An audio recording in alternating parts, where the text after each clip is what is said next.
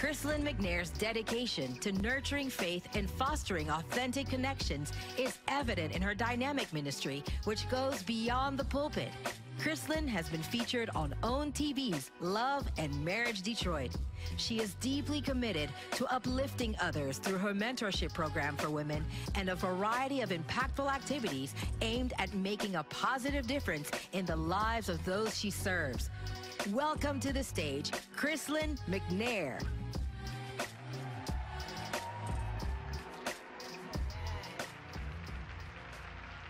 Hallelujah. Amen. It's, it's such an honor to be home. to the amazing pastors of this house, my spiritual parents, Dr. Creflo and Taffi Dollar, I love and appreciate you. If you want some pastors that's gonna rock with you to the end, get you some dollars, okay? Because they have fought with us in our marriage. They have fought for me personally when I didn't believe in myself. They believed in me, and I'm so grateful, so, so grateful for you all. And I see a couple of other family members in the house really quickly. Y'all, I need my 45 minutes, so I'm gonna go real fast. But to who I call my mentor, my other mom, Pastor Cynthia Brazelton, thank you for all that you do. Thank you. I love you and Antoinette. I love y'all. Y'all are family. Of course, my mother is in the house, my actual birth, birth mama. my sister, my dad, my stepmom, thank you all for being here. And anyone who I didn't shout out, you all know that you're in my heart. But most importantly, I cannot start this message without honoring my husband, my support, my best friend. Y'all, they called me and said, you know, do you want a product table? And I was like, no, I just want to get in, do what I'm supposed to do. And he said, are you crazy? He did everything. he ordered extra product, organized everything. I was just, I'm so grateful for you. It's nothing like having you in my life, and I'm so appreciative. My mother-in-law is here as well. This is Mildred McNair, of course, some sisters from Alpha Kappa Alpha, but more, more importantly, like I call them my big sisters. But they're here, Kalisha, Batrina, my best friend Laren. I love y'all so much. All right, you guys can take your seats. I want to get started this morning. Let's pray really quickly. Father, in the name of Jesus, we thank you for your presence in this house this morning. We thank you most importantly for the word that you have prepared for every person in every single one of these seats. God, I ask that you speak that you begin to open their hearts, you open their minds. God, this is your seed. I've studied for this message, God, but it's nothing until you breathe on it, you move through it. Lord God, you speak through me, think through me. God, this is yours. And so, God, you know what every person came in this house needing and expecting. And I, I ask that you exceed their expectations this morning. In your son, Jesus' name, we pray. And everyone say, Amen. amen. When I was preparing for this message, um, What's so funny is um, I was thinking about bloom, and you start thinking about seasons changing. You start thinking about spring, flowers, colors, and things like that. And God dropped on my heart a particular story of a time where I wanted to be, what do y'all call it, a plant mom. I wanted to start growing plants. That's what everybody was doing on the gram, you know, so I wanted to do it too. I needed a new hobby, and so I wanted to start growing plants. But here's the issue I do not have a green thumb whatsoever. My husband buys me flowers and they will sit on the table. I will not water them. I, will, I won't even look twice at those things. And for Valentine's Day, and a matter of fact, he bought me this big bouquet of flowers. It had balloons tied around it. It had all this decorative stuff. Y'all, that thing just sat on the table with the balloons, with the ties. I didn't think anything about it. You know, you got people who cut the stems, do it all diagonally, spread and bloom the flower. I'm not doing all of that. I'm so sorry. I love you, but that's just not my gift. But I wanted to still be a plant mom, you know? So someone was like, well, we're going to test you out. My friend, she loves plants. So she gave me a plant and she was like, if you could take care of this, then this may be something you can do. But don't go out there and start buying all these big plants like everybody doing, they all die. And so she gave me this plant and I'm thinking, okay, let me go to Google and let me figure out how to how to take care of this plant. I need this thing to survive. So I go to Google and I'm looking up on how to water it, how much sunlight does it need, and you know, what do I need to do in order to make it thrive? And so I get this plant and I call myself putting it in the right amount of light. And this particular plant didn't need a lot of water, so they were like, spritz it. So I'm like, let me go ahead and spritz the thing, you know? So I'm spritzing the plant and I'm just, y'all, listen, it got bad. I started talking to the thing. You will live and not die. Listen, I'm gonna prove I'm gonna prove to you that you're gonna live today. You're not gonna prove me wrong, you're gonna live. And so I'm just like all excited because I, I started to see a little stem sprout, and I'm like, oh, snap now. I, I'm gonna take care of this plant. I'm about to get another one. And then one day I started walking by it, and I was like, it looked a little crispy. and I'm like, I'm not so sure what's going on with this thing. Um, so I'm like, all right, so maybe you need a little more water. So I little spritz a little water and and then I'm like, okay, we're gonna pray over it and you're gonna live. And by the next day, it was looking real crispy. And so about, I'll say about a weekend, the thing started drying up completely. no matter how much water I put in it, it just started to look as if it was dying. So I called my friend and I'm concerned now. I'm like, listen, I did everything that Google told me to do with this plan, and it's still dying on me. And she asked me a question. She said, well, did you think about repotting it? And I said, what, are you talking about repotting? Where did this come from? I didn't see that on Google. and she said, this is the last resort because maybe the plant has grown to its capacity and now it needs to be repotted because it can no longer receive the nutrients that you're pouring into it. you're taking care of the plant, but the plant doesn't have room enough to grow. And when I started looking up repotting, it says that when a plant is stuck in limited space, it enters what is called survival mode. In this limited space, the roots don't have enough room to absorb what they need, which causes the plant to suffer. But when the plant is repotted, it is now able to receive the capacity of what's being poured into it. And so, what I believe, as God was telling me about my whole little planting situation, I believe that we are in a season of repositioning and replanting.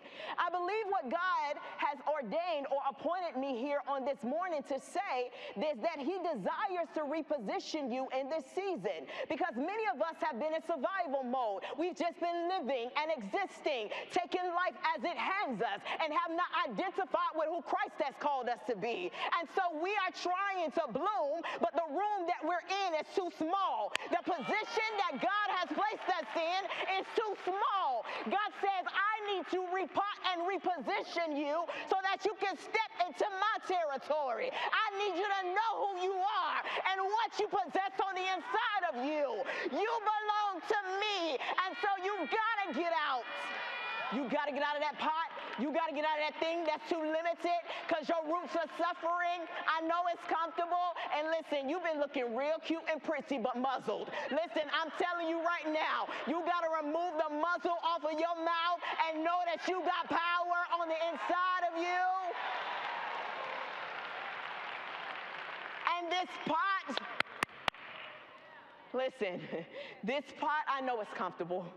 And I know you love it because that's where all your friends are. That's where everything that you recognize is all around you. But God says in this season, I want to stretch you into the unfamiliar. I need you to know that you are a supernatural being who, who, who, who, who needs supernatural possessions, who has every supernatural inheritance. You are God's. And because you are God's, I need you to know that there is so much more that's in store for you, and you've been limited. Glory be to God. There was a um, saying I remember that used to say, bloom where you're planted. That ain't Bible. I, I don't think it's Bible. That ain't Bible. because how you gonna bloom where you planted if where you planted is too small? I'm just saying. so I don't know about you. I don't necessarily want to bloom in a limited space. Expand my territory. I need you to show me that there is so much more that you have for me. Whatever it is that I've been thinking and limiting myself to, God, stretch me out. That's what true blooming is about. Evolve my flowers. Show me who I am. Let's put some scripture on this thing. Let's go to Acts 3. Hallelujah. Let's go to Acts 3. Let's, let's talk about repositioning and what that looks like. My husband reminded me of this. My plant didn't come with a little card. But he said, you know, plants come with little cards, little steps that tell you about repotting. I was like, my plant didn't come with one. but when I did look up the card, the first little step was to pull it out. pull the plant out. I said, it's probably why I died. I didn't follow directions, but we're going to follow directions this morning because we're not going to die. We're going to live. Glory be to God. And so, Acts 3, I want to read it out of the Amplified version of the Bible, if we can pull it up and read it out of the Amplified. And I'm going to start with verse 1. There we go. Now, Peter and John, really quick before I start reading, just to give context of where we are in the scripture. Uh, we're here in Acts chapter 3 when just a few blocks over in John, because I believe this is important because Peter, above anyone else, understands what it means to be repositioned. Because over in John, Peter was one of the disciples. He was one of the ones that were closest to Jesus, washed Jesus' feet. But he was also the one that denied Jesus three times. And so we move over from John because he also witnesses the ascension of Jesus. He's there at the tomb waiting for Jesus to return because I'm sure he had so much guilt and so many, uh, so much shame in his heart because he denied one he considered to be close to him. And so we get over into Acts where the apostles, the, the disciples are waiting with eager expectation for the Holy Spirit, the promised Holy Spirit that Jesus had promised them. And so in Acts 1, they're in expectation. In Acts 2, they get to a place where they encounter Pentecost, and that is the coming of the Holy Spirit, where they start speaking in different languages and different tongues. And Peter himself actually is the one who preaches a message and converts 3,000. And so he understands what it means to be in a space where he was once denying and now he's called. And now he's in a space where he realizes that the grace of God is here to save me regardless of my actions or regardless of what I've done wrong. Now here I am called and I must show up because I have the Spirit of God that's on the inside of me. And so here in Acts 3 in 1, it says, Now Peter and John were going up to the temple at the hour of prayer, the ninth hour, three o'clock in the afternoon. When a certain man, crippled from his birth, was being carried along, who was laid each day at the gate of the temple, which is called Beautiful, so that he might beg for charitable gifts from those who enter the temple. So when he saw Peter and John about to go into the temple, he asked them, Give me a gift. And Peter directed his gaze intently at him, and so did John, and said, Look at us. And the man paid attention to them, expecting that he was going to get something from them. But Peter said, Silver, gold, money I do not have, but what I do have, that I give to you in the use of the name of Jesus Christ of Nazareth, walk. Then he took hold of the man's right hand with a firm grip and raised him up. And at once his feet and ankle bones became strong and steady. And leaping forth, he stood and began to walk. And he went into the temple with them, walking, leaping, and praising God. Let's go back to verse 1. Do we have it in the Amplified and not the Amplified Classic? Let's go back to verse 1. Here we have a man that is actually being carried. He's being carried. I need you to imagine the story and see what's going on. He is being carried to the gate, this place of prayer, but he's not going into the place of prayer. He is being carried to sit in front of the gate to beg. But what I want to draw your attention to this morning as we start this message, being repositioned to bloom, is that it says, Now Peter and John were going up to the temple at the hour of prayer in the ninth hour. Let's go to the second verse. because I want to break this down. And it says, when a certain man crippled from his birth was being carried. Now, see, I have an English degree, so when it comes to grammar, I get all caught up and distracted. Because here in this particular message, and I actually like it in the amplified version better than the amplified classic, because it says that when he was being carried, it says where they used to lay him at the gate. Now, I want to draw your attention to something in English. Whenever you see a change in tense, the author is trying to draw your attention to a change in time frame. And so, what's happening here in this particular scripture is he is being carried, present tense, to where he used to be laid, past tense. So, there is a shift in time here in the midst of his transition. There is something occurring while he's being carried. Remember, he is not able to walk, he's just simply being carried. But there's a shift in time frame that has happened. And it's saying that he used to be laid at the gate while he's being carried, the gate called beautiful. Now, I looked up the word beautiful because I'm trying to figure out this shift in time. Why are we using present and past tense in the same sentence? And so, what I saw here was that the gate of the temple called beautiful in Greek is called Horaios. And Horaios is a Greek word meaning belonging to the right timing and season of beauty, flourishing, fulfilled, and baby blooming. and so it says here that the beautiful gate is a gate of right timing and right season. It's a gate of fulfillment and blooming. That's what the gate, listen, that's what I'm telling y'all what the Bible study says, but it also says that beauty in this particular translation, in this particular scripture, excuse me, is sometimes joined with the word charis, which when you put flourishing and the right timing together with grace, you get the movement of grace. And so the reason why the tense is changed here is that this man was being carried, but on the other side, he had Peter and John who now had the Spirit on the inside of them. So they were now in the movement of grace. Somebody's gonna catch this. And so, what this means is when there's a movement of grace, there is a transition that occurs.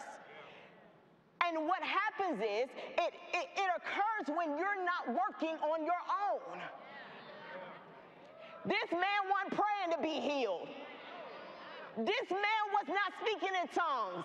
This man didn't get up at 5 a.m. and say, Hey, I need you to heal me today. He wasn't even thinking about his healing. He was being carried to his fulfillment. And that's what repositioning and grace means. You ain't even got to think about it. But through the grace of God, while you're in transition, I'm going to take you to your healing. I'm going to take you to the miracle. I'm going to take you to the blessing. It's in transition. He was simply just on his way to his everyday needs, his everyday bag, his everyday mediocre's life. He was just on his way to his everyday situation. He was just being carried in his everyday issue. Oh, come on. Okay. He was just being carried in his everyday depression. He was just being carried in his everyday anxiety. He was being carried in his everyday insecurity. He was on his way. And so the scripture says he was being carried to where he used to. What's going to happen in the movement of grace when it comes to blooming is you you're going to be on your way to work where you used to be an assistant. I just I'm just trying to show y'all how grace works. Because grace said, I don't need all your toiling and working. All I need for you to do is believe in Jesus. Because right next door, there is a promised Holy Spirit that has given you power on the inside of you to be more than what you limited yourself to be. You are on your way to killing yourself, but God. You are on your way where you used to be depressed. You are on your way where you used to be fed up. You are on your way you used to be overwhelmed. You are on your way where you used to be broke. But in the movement of grace, when you arrive, you found abundance. When you arrive, you found healing. When you arrived, you found Jesus.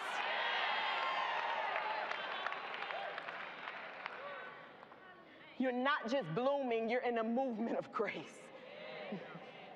We got to understand this. We're, we're not just flowers just waiting to, to bloom at appropriate times. I believe that when we connect with Jesus, then this is where our bloom occurs. When we lock in with Jesus, this is where we begin to grow. When we lock in with Jesus, this is how we overcome. When we lock in with Jesus, this is where we receive our healing. When we lock in with Jesus, I become more than what I expected. I will not live in survival mode because I know who I am. So let's continue. It says, So when he saw Peter and John about to go into the temple, he began asking them for coins. Sometimes you can be in the midst of breakthrough and not even recognize the shift. the shift was already taking place, but he was still looking for coins. And if I can be honest real quick, thank you, Holy Spirit. I just believe that's what's wrong with some of us. Is God said, I've already delivered you, but you're so used to coins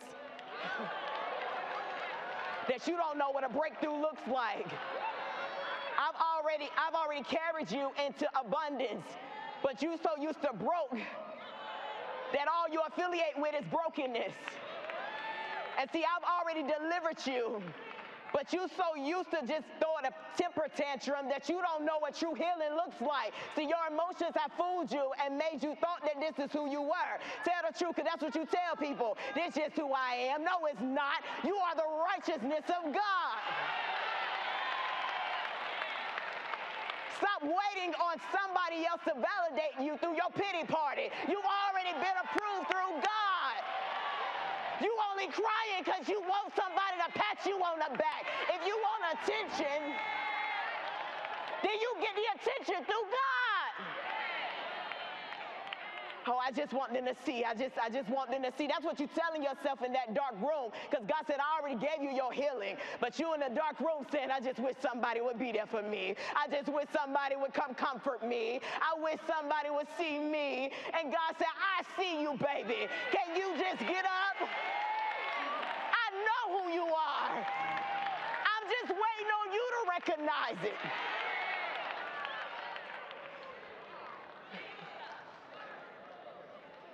Know your name.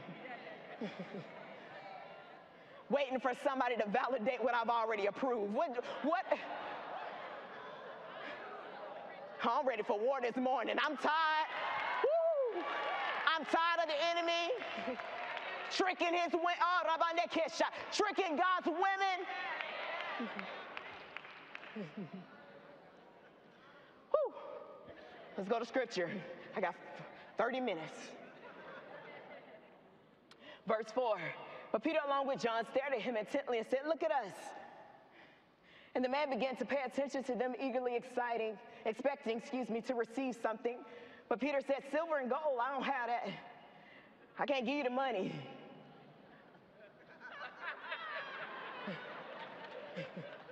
I can't give you what you're looking for. but what I can give you, listen, I can just give you what I got. Side note, that's what you got to tell some people. I can just give you what I got. and what I got is the power and authority of Jesus Christ. and so, with this power and authority, he said, Now walk and go on walking. This is the part I want us to pay attention to. He said he then seized the man right hand. In some particular verses, it says he pulled him up. He pulled him out. And it says, once his feet and ankles became strong and steady, now watch his grace right here. Watch the movement of grace. He says, and with a leap, he stood up and began to walk. I'm gonna, I'm gonna repeat that sentence again. And with a leap, he stood up and began to walk. And he went into the temple with them, walking and leaping and praising God. But here's the thing I need y'all to understand. With the leap, he began to walk. Now, is that physically impossible? I mean, is that physically possible? Let me explain something to you. He was crippled since birth. That means he never knew how to walk. And so, how you go from jumping to walking? Jumping and leaping typically requires a certain level of muscular development, coordination, and balance that only develops after a child learns to walk.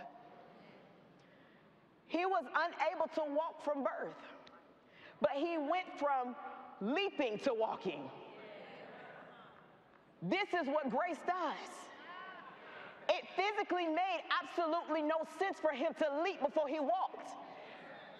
Physical, your muscles cannot leap before they walk. I have a four year old son.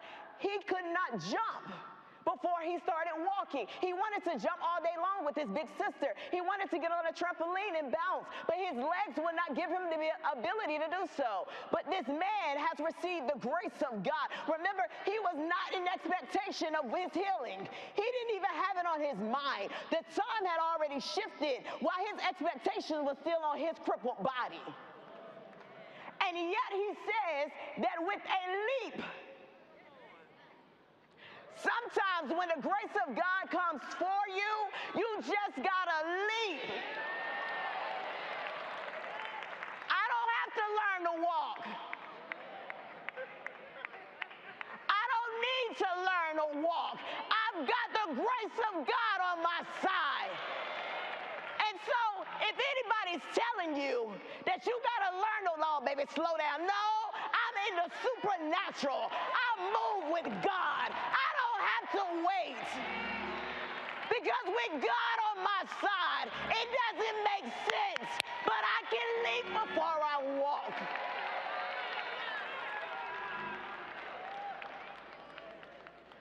And what I believe God is saying in the spirit right now is things that might have taken 10 years. By the grace of God, God said supernatural acceleration. Here's your leaping. I'm going to do for you in 10 days. Things that you thought were going to take 20 years. God says, watch you leap in two days. Because you have tapped into my grace. You have tapped into my sufficiency. You have tapped into my provider. You have tapped into everything that you need. You have it on the inside of you. I just need you to lock in. I just need you to lock in. You, I just need you to lock in. You tapped into the provider now. See, listen, you've been you've been mad because you felt like you were alone. Some of you all have been weeping because you felt like nobody was there to support you. Nobody's been there to have your back. Nobody's been there to push you. And you've been asking God, where am I going to get my network? When am I going to get my support system? Because I'm carrying everybody else. I'm carrying the children.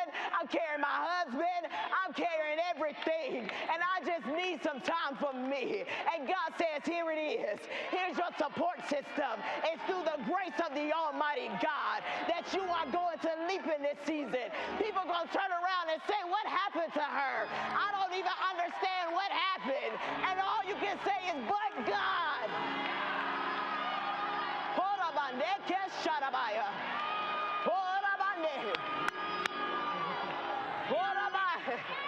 Now I understand 2 Corinthians 12 and 9. I didn't, I didn't really get it before. When Paul says, My grace is sufficient. He said, I had a thorn in my flesh. And I asked God repeatedly, please remove this thing because it's hurting me. I know you hurt, and I know you tired. But God stepped in and told Paul, listen, my grace is sufficient. And Paul turned around and say, Yeah, he said, My strength is more effective in your weakness. Because when you're weak, that's when I'm strong. When you're weak, that's when I have room to move. When you're weak, that's when I have the capacity to enlarge your territory. When you're weak, this is where I can step in and do more than what you expected. See, you don't understand your weakness has been a barrier to my promises. I need you to understand because you've been, fo- it's not because you're weak. You've been focusing so much on your weakness that you haven't been able to focus on me. And so here it is today. I'm breaking the I'm tearing down the walls of your weakness. They will no longer stop you from receiving the grace that I made available for you. God says, it's okay. It's okay to be broken. I know you've been trying to hide this part of you. because it hasn't looked pretty. This isn't a side that you want everybody to see because you're the strong one. Oh, You're the strong one. And you've been scared that people will talk about you because, oh, how this woman of God, the one who prays and goes to church every day, why is she the one that's so weak? How has this happened? See, that's why I don't go to church now because she, them church people keep going through. No, no, no, I'm not going through. I'm God, oh, I'm elevated. Don't be fooled today. You may see my tears, but you don't understand that one thing that's different between me and you is that I serve a God that when I cry, his strength steps in. That when I weep, I win.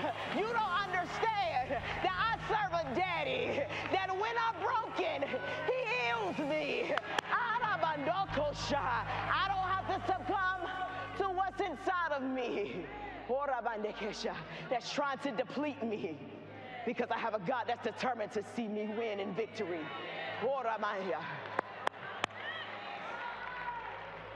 I know who I am. I know who I am. This is Horamaya. Shut up. I know who I am. I remember one day my husband told me, he said, You're a capacitor. And I was like, What is that? he said, He's techie.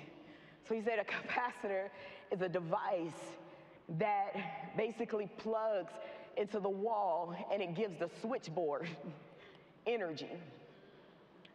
And it's basically like a reserve bank. And so it's a device and it just basically plugs into the wall and it reserves all the energy. So when a switch is flipped or at the appropriate time, it releases that energy onto the switchboard. And God began to remind me of Ephesians 2 and 8 that says, For by grace, we have been saved through faith. And what God was telling me, and this is very pivotal when it comes to the movement of grace and who we are as it pertains to blossoming, is that a capacitor is only as functional through its power source. And so, grace, if we are saved by grace through faith, it says that we must be plugged consistently into grace. And so when we're plugged into grace, what happens is grace is just Jesus, y'all. Is grace then gives all the energy into this device, which is faith. And so what happens when we believe, the, the switch is flipped. And all of that energy is released upon us. And so the reason why God, I believe, has given me this is because sometimes we forget how the movement of grace works. We forget that it ain't about anything that we do, but just trusting and believing.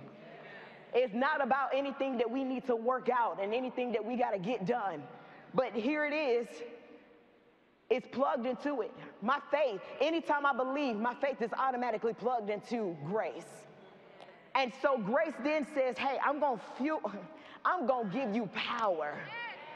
And then in this, in this, in this, in this faith, in this transfer of righteousness, at any point you need it, I'll release the same amount of power that I hold upon you.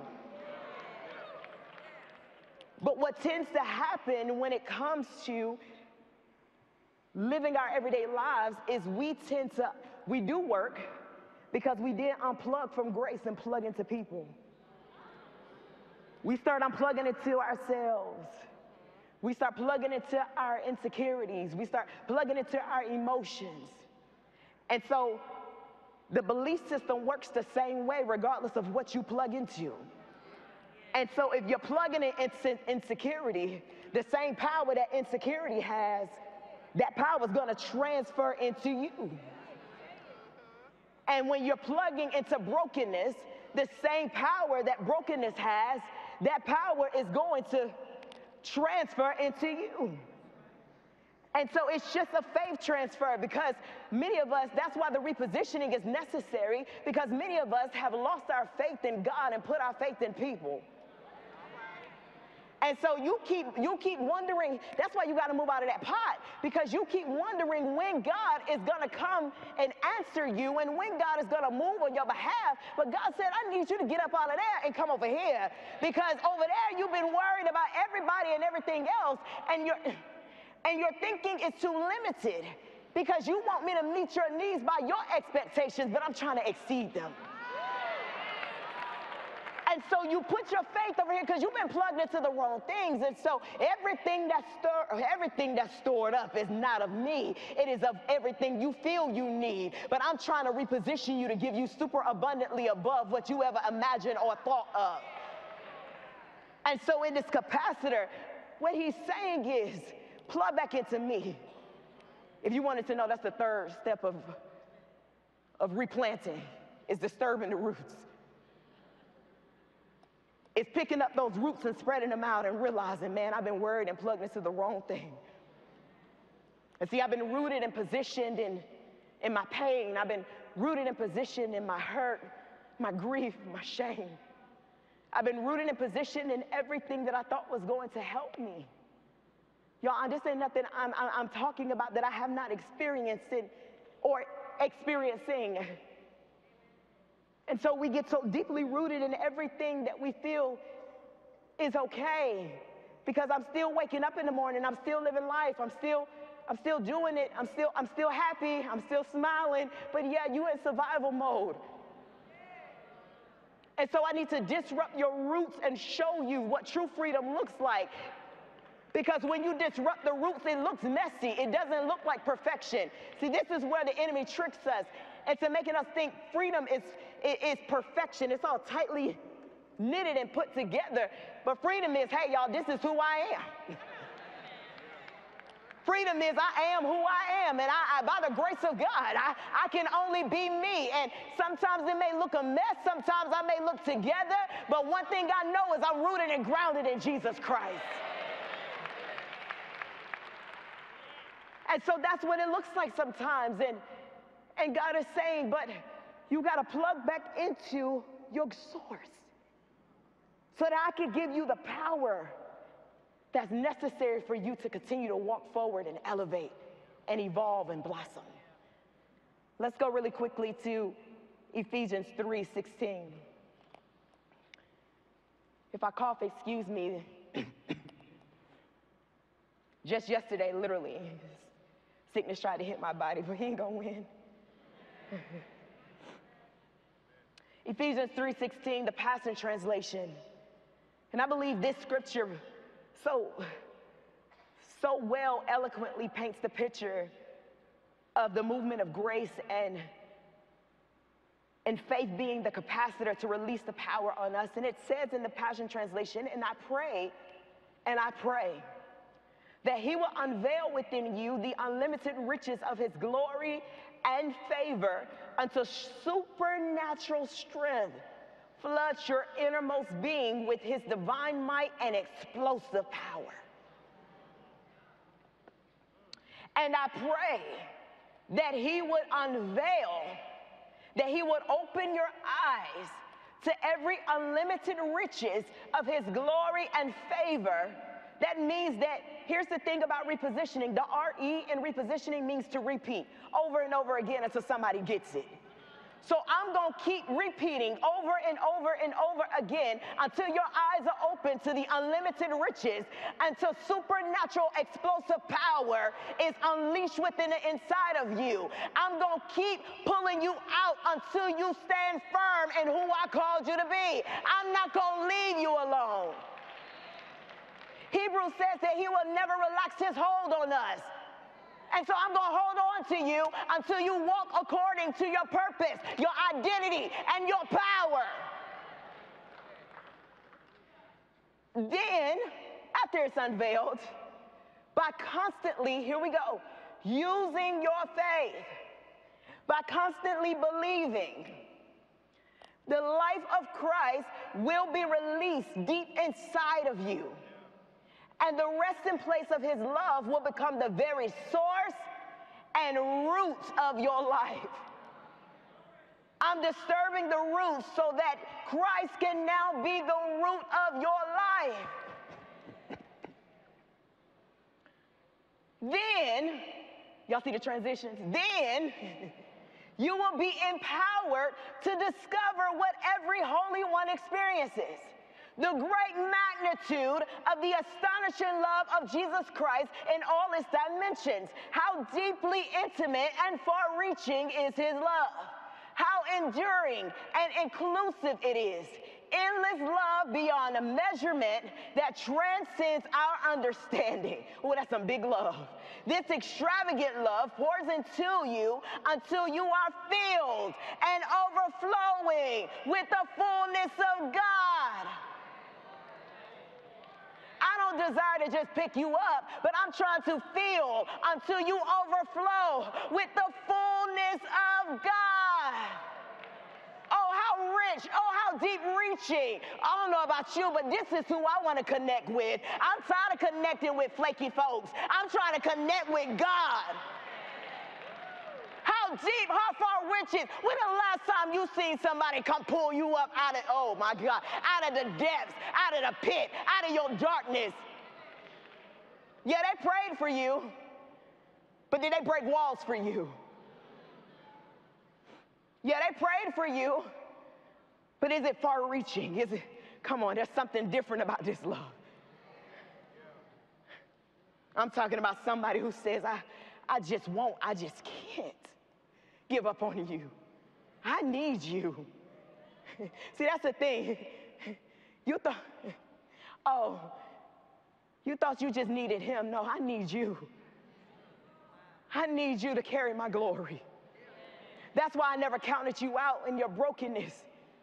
Because my word says that in those frail clay pots, you carry a glorious treasure on the inside of you. And so you've been waiting on me to plug those holes, but those holes is what's gonna reveal my glory.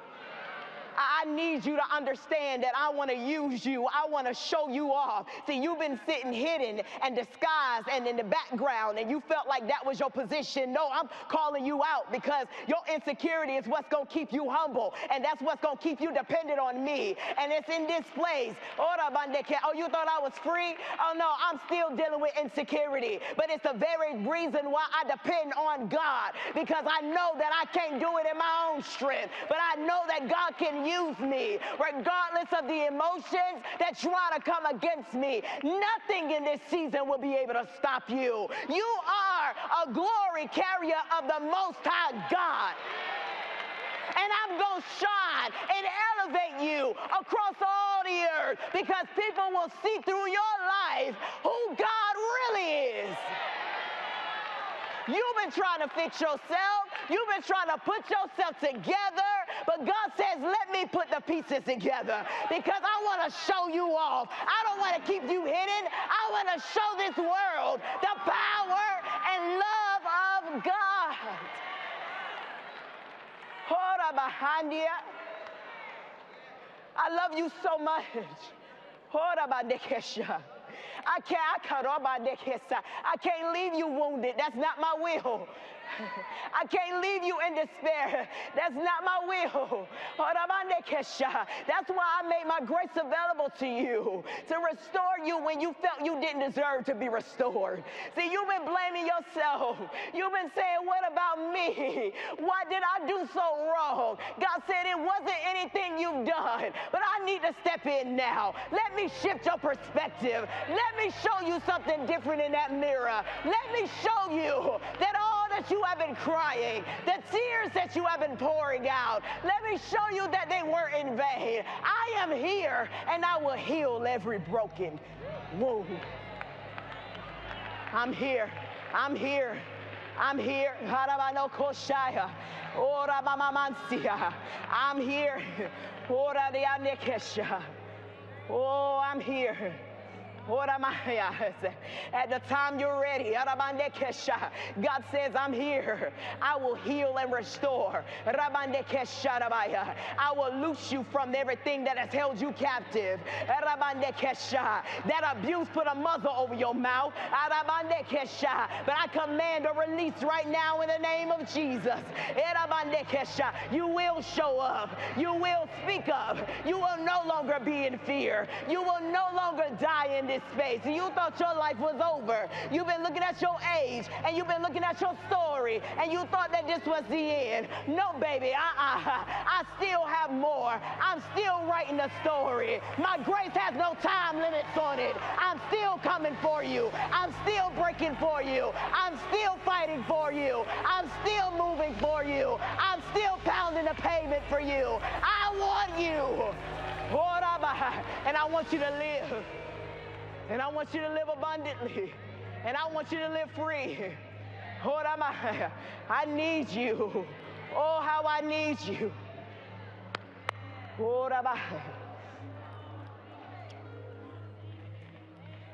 And then the word ends on verse 20.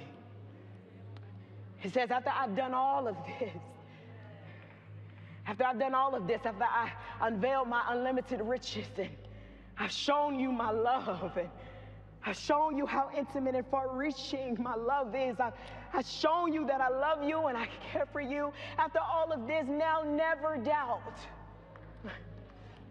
God's mighty power to work in you to accomplish everything. For he will achieve infinitely more than your, than your greatest request, your most unbelievable dream, and exceeds your wildest imagination. He will outdo them all. For his miraculous power constantly unleashes energy on the inside of you. It gives you everything that you need.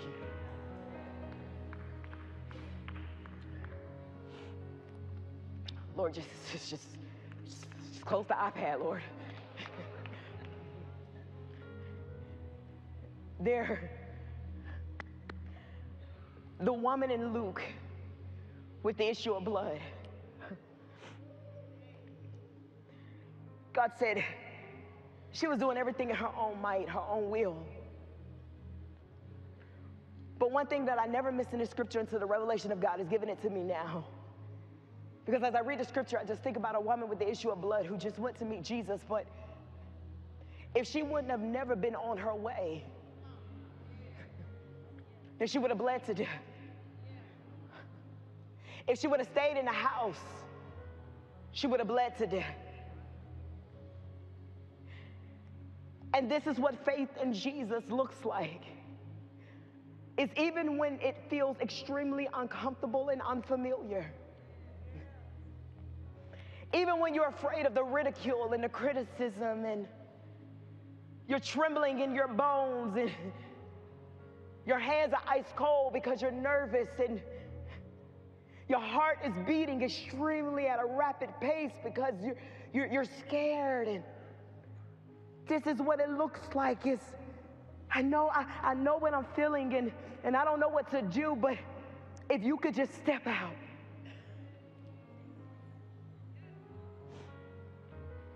And that's what blooming is all about. Is this is why you're blooming in grace because it's not about blooming because you now got it all together. it's never a time where you say, okay, now I'm ready. It's a time where God says, no, you're ready. But God, I don't feel ready. In fact, I still got this issue and I don't know how to overcome it. And God says, Yeah, you still ready. God, I'm trying to fix myself, and I'll come. I'll come when I feel all put together. No, I, I want you broken, messed up, and all. I, I, I, I want you in your dysfunction. I, I, I, want you in your inadequacy. I, I want you in your inferiority. I, I want you in broken pieces. I, I want you. I want you in shambles. I, I want you straight laid out on the floor and, and, and, and, and confused and overwhelmed. I, I want you. This is how you bloom is when you say, I just, I don't know how and I don't know when but I'm just going to step out. I'm just going to step out, but God, I don't know. I, I don't know if this is for me. No, baby, can you just trust me? I need you to plug into your grace source. And I need you to give me an opportunity to disrupt your roots and show you that where you've been planted has only limited you and made you small. But baby, you are really a giant in the kingdom of God. And I need you to show up and giant that I called you to be. So as I'm repositioning you, you can go ahead and break that pot because you ain't going back. No, I'm expanding your territory. And where you walking from this moment forward, everything that I promise you shall receive. Watch me exceed your expectations. Watch me exceed your imagination. Oh, baby, you ain't even been able to think about where I'm about to carry you. This is how you blossom. And it ain't by anything that you can do, it's because you deserve it. Woo! It's because I called you to it. It's because I'm positioning you for it. It's because my grace and favor and mercy has been made available to all those who felt undeserving, unloved, insignificant, unimportant. Watch me move.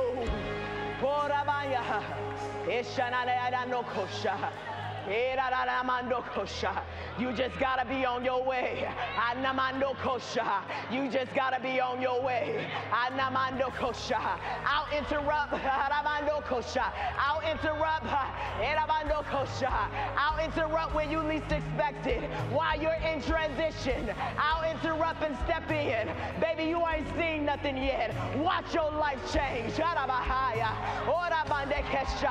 Watch transformation hit your house. Oh, this ain't just for you. This is for your children. This is for your children's children.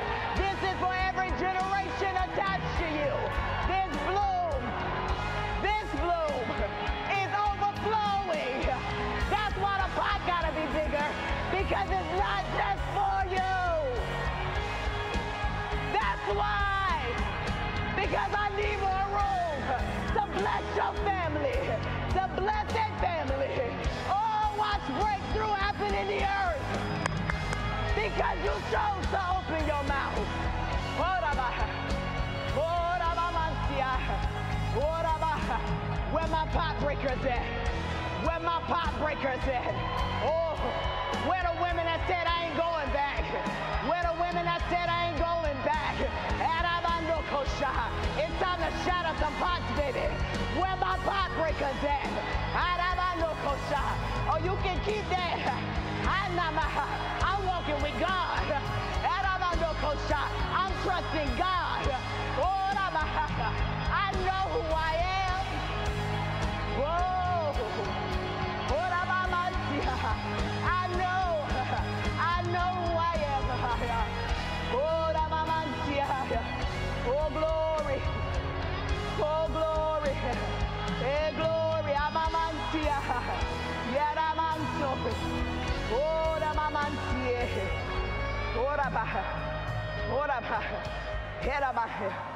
Yesha. I heard the Spirit of God say,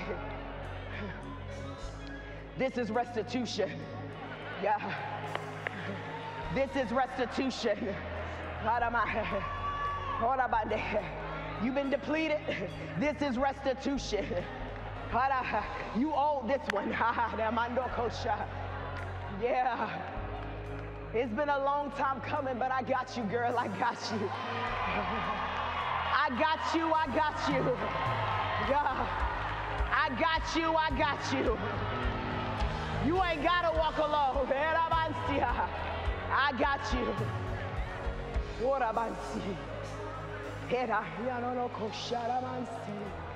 And so, Father, we thank you.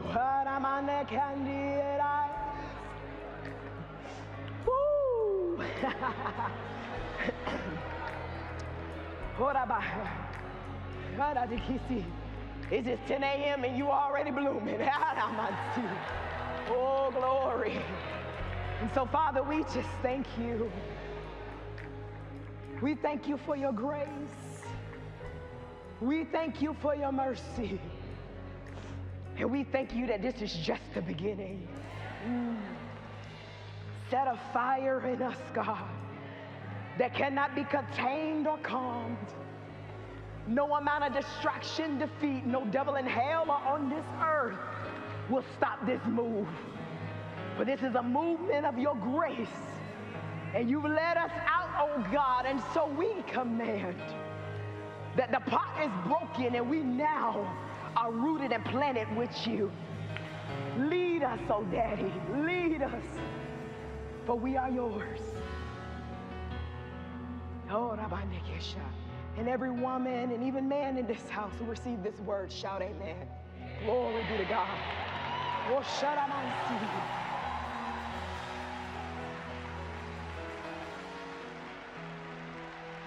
Real, we got a couple more minutes. The Holy Spirit, keep playing, keep playing. Christmas, stay close, please. Some of you need to bring some things to the altar and just let it go and leave it there.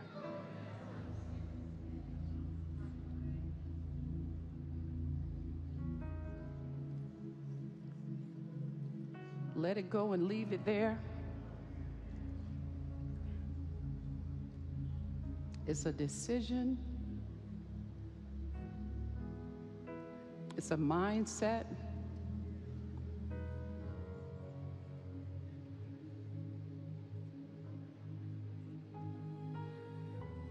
Let Him put you in the pot and in the place that you need to be in. I would do you an injustice if I didn't give you this moment. Those of you who are watching online, perhaps you can just kneel wherever you are. But to lean into this moment, because this is the beginning of a new season for many of you. This is a Kairos moment this will shift and get you in alignment with what God has already started. We just want to solidify it, create a community of agreement. There is power in this place, there's power in agreement. He says, Where two or three gather together in my name, he says, He's there in our midst. So you don't have to think that you're alone.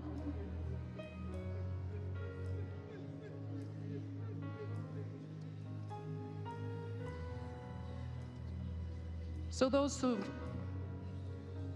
have come, just lift your hands up to the Lord. And those of you who are, just stretch your hands towards those who are here. Krislyn, can you come back and pray? Just pray. Just flow whatever God tells you to say.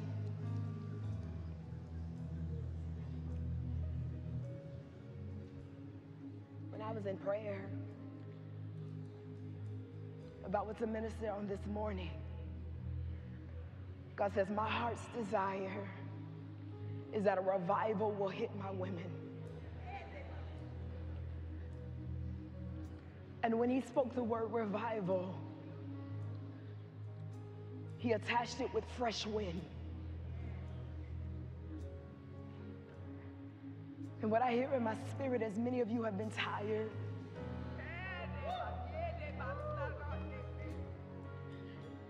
You have felt so frail. You've been feeling disconnected, almost like you're dying. But the Spirit of the Lord said, Here, my fresh wind, my fresh wind. I'm going to move on you. but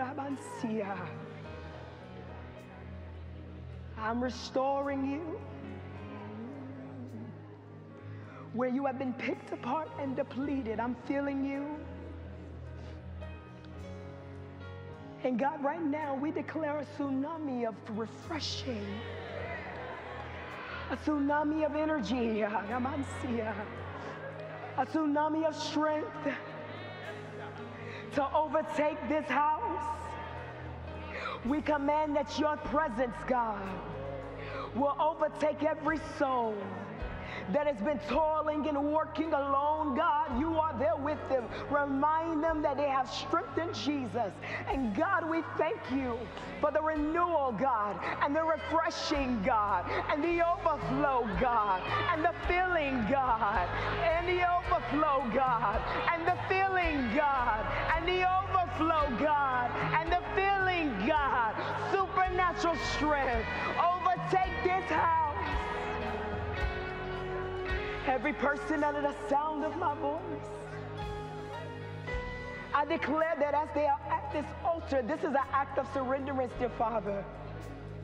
And I declare that they lay down every weight that has pressured them every worry that has burdened them, everything that has kept them stuck, defeated, and depleted, we declare that as they lay it down, they pick up determination, they pick up boldness, they pick up assurance, they pick up confidence, they pick strength, God, your presence, God. They move with you. Have your way, God, have your way. Have your way, Lord. Have your way, Lord. Have your way, Lord. Have your way, Lord.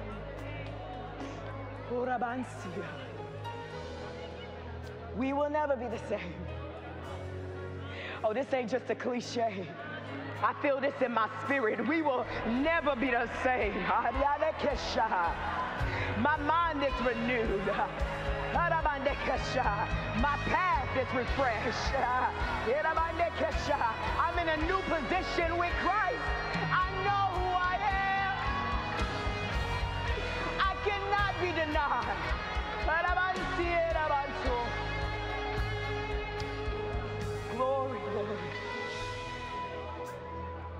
So I declare.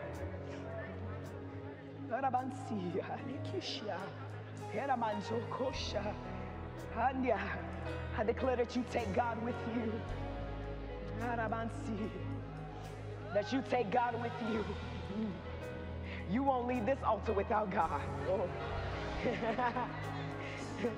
So you might as well go back to your seat laughing and rejoicing and say, You got the right one today.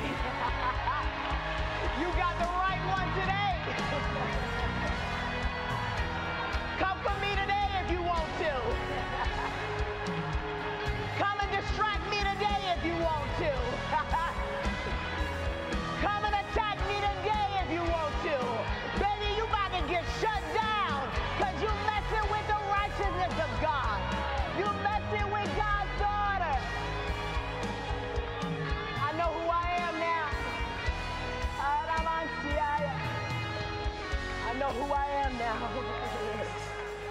Sir. And I will not be silent. I will always. Ooh, Sharabasia. As long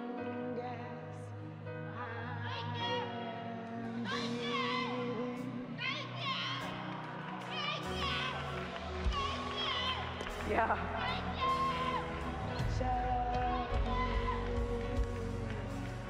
And I will not be silent.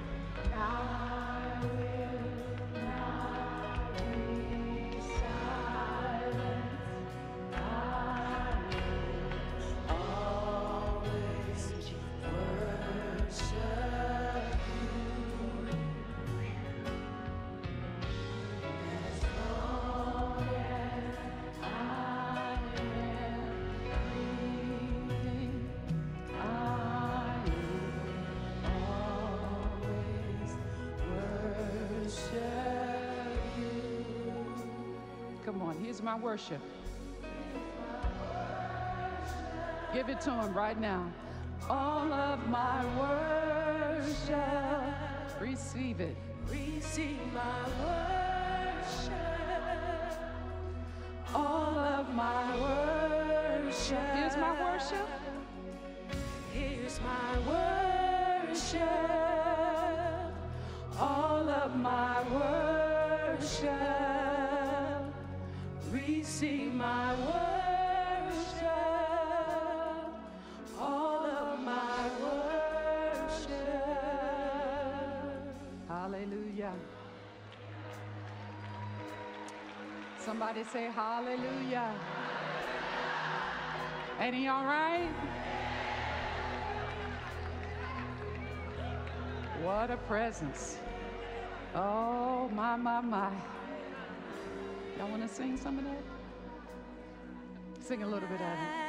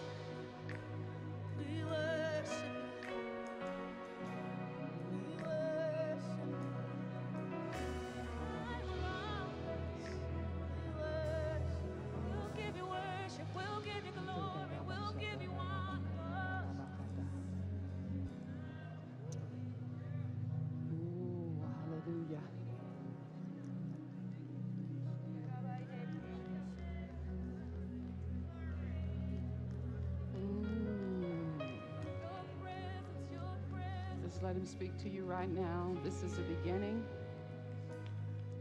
Let him speak to you right now in a still small voice. Let him speak in from the inside. Just listen to his voice. He's speaking. wants you to know how much you are loved today. Receive his love. That unfailing, relentless love that is in hot pursuit of you, that loves you no matter what, no matter what you've done, where you've been. Receive your love, God. That unfathomable love, love we can't even comprehend, love that we don't earn, the love that we don't deserve, but you give it to us freely. Thank you for never giving up on us, God. Thank you for believing in us, Lord. Thank you for choosing us, God.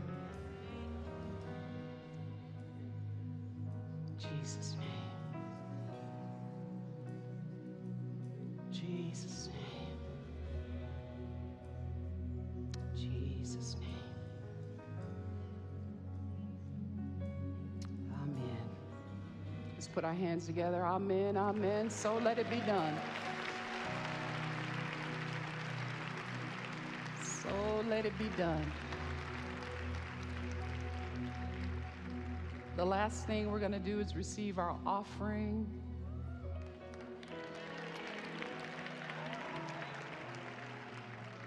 And then we'll let you get some lunch so that you can come right back Hopefully, you can participate and attend the 2 o'clock session. And then the 7 o'clock session tonight. Power packed all day. And just think this is just session one, the first, the first one. You feel different already? You sense the eternal shift on the inside of you? This is only the beginning. You have to ask yourself, what is God up to? Something good? Something powerful? Something eternal? Something monumental? Unexplainable? Miraculous? He's in the mind blowing business. I'm telling you, you're in the right place at the right time for something good. If you need offering envelopes, just lift up your hand. The ushers will be sure to give you one so that you can have a record of your giving. Of course, there are instructions on the screen if you'd like to text a seed or however you like to give. I'm reminded of the scripture in Mark chapter 4. It talks about the law of seed time and harvest. And before we go there, I want to go to John.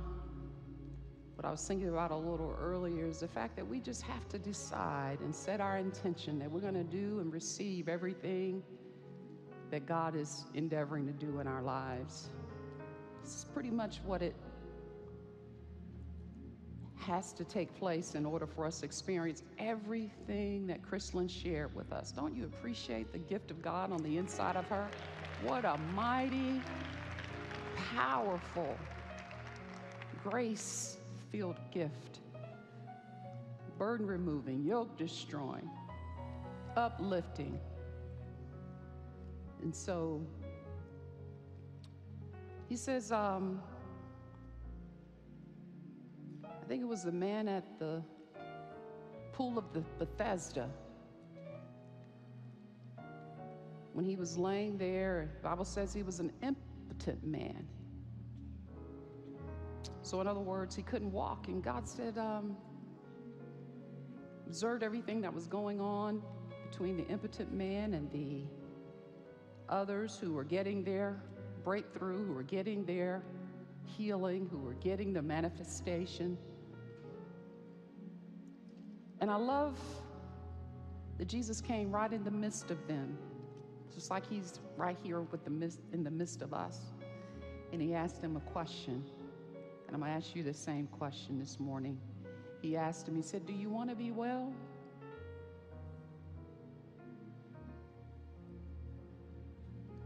No more time for playing the victim game. No more time for pity parties. No more time for feeling sorry for ourselves. Nobody's coming to the pity party. He says, Do you want to be well?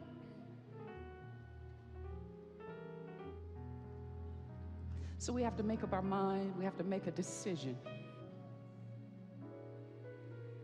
Decision is a quality that we're willing to sign our name on. On March the 14th, 2024, I decided that I wasn't going back to my past. Wasn't going back to making excuses, believing the lies, just believing things that weren't true. He says, Do you want to be well? So I asked you that question this morning. Do you want your situations to change? Because how many you know He'll meet us at our point of need? So change happens when there's an exchange between us and God. And so, this opportunity that we have to sow seed is for us to sow and believe the things that we heard this morning. We're going to make the series available because you didn't get everything in this one sitting. I can tell you that. I'm going to go back and listen and listen and listen and listen. So much revelation. What we heard is just pregnant, it's full. We need to hear it again and again. And so today, what a great day to decide that this day will be the beginning of the rest of my life. And so we thank God that He gives seed to the sower and bread to the eater. And He says, as long as the earth remains, there'll be what? Seed time and harvest. So let's plant this morning. Let's sow seed this morning on what we heard. Let's put it in the ground. Let's believe God for those things that we know are available for each and every one of us. So let's lift up our devices, let's lift up our seeds, let's water it with the Word of God. Oh God, you says, Come unto you and give unto you the glory that is due unto your name, and to bring an offering. God, there's no way that we can give you what you deserve. We can only give you a portion of all that you've done for us. So we offer our seeds unto you in gratitude and appreciation for your goodness. We know that we wouldn't be here this morning if it were not for you. And so, Father, thank you that you're our provider. You're Jehovah Jireh. You see the need, and you provide for every need that's represented in this place. And we thank you, Father, that it's already done. You are our source, you are our supply. So we take comfort in knowing that it's already done.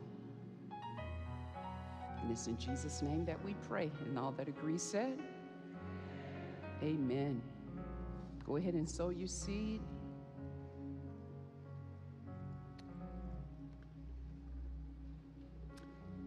And uh, let's see. We got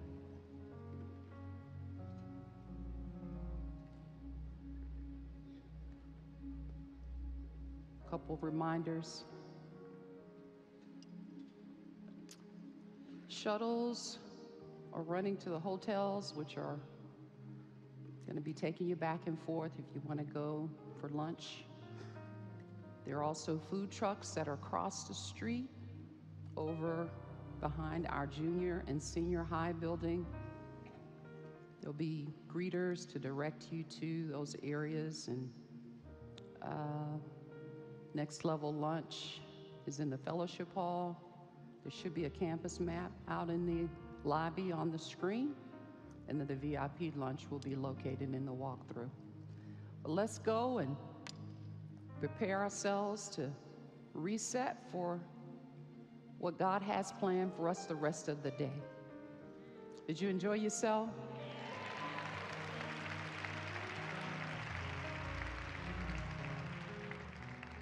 Yes. Praise God. Everybody had a chance to give? I see ushers. Let's see, I think we have.